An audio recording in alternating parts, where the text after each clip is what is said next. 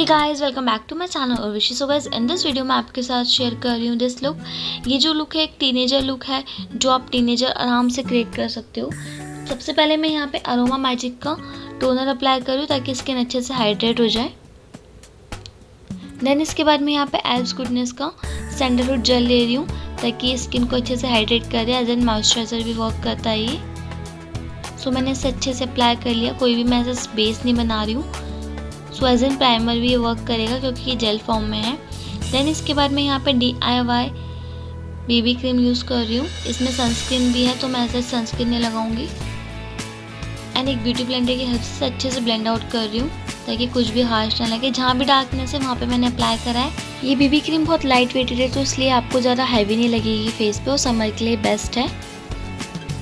Then मैंने इसे अच्छे से ब्लेंड आउट कर दिया है। देन इसके बाद मैं यहाँ पे वेट एंड वाइल्ड का पैलेट यूज़ कर रही हूँ और इसमें काइंड ऑफ़ एक बनाना पाउडर है।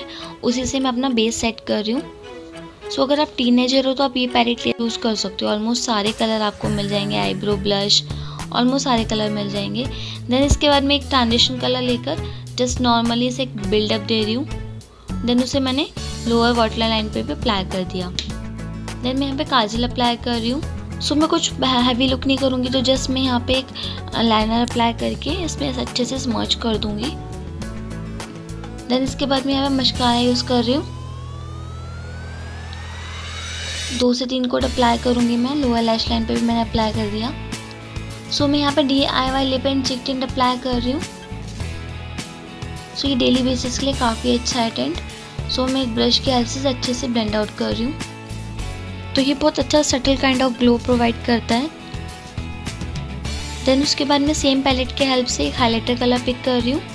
और इसे यूजली टिक्स पे नोज़ पे फॉरहेड पे ब्रिज ऑफ़ नोज़ अच्छे से अप्लाई कर रही हूँ जहाँ पे भी हमारे हाईलाइट पॉइंट होते हैं। देन उसके बाद ब्यूटी ब्लेंडर की हेल्प से अच्छे से ब्लेंड कर रही हूँ ताकि कुछ हार्श ना लगे। सो so, मैं यहाँ पे एन वाई बे का लिप कलर यूज़ कर रही हूँ काइंड ऑफ़ न्यूड कलर है। देन इसके बाद मैं आईब्रो पेंसिल यूज़ कर रही हूँ एन वाई बे की।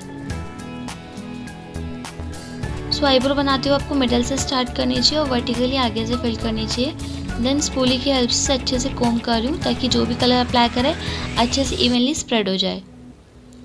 देन इसके बाद मैं यहाँ पे एन वाई बे का सेटिंग्स पे यूज़ कर रही हूँ ताकि बेस अच्छे से लॉक हो जाए स्टे करे।